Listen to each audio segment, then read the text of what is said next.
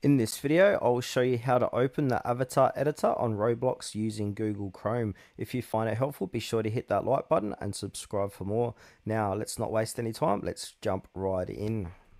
Alright, the first thing we need to do is go ahead and open up Google Chrome on your device.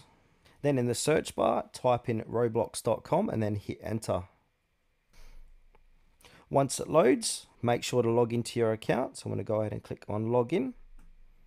Alright, so once you're logged in, we need to go ahead and click onto our username on the top left hand corner, our avatar.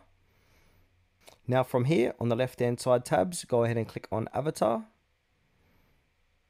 Now, once you're inside the avatar edit editor, you can change your character's clothing, accessories, body parts, animations. Click on any item to equip or unequip it instantly. You can use the head and body to adjust the skin tone and properties.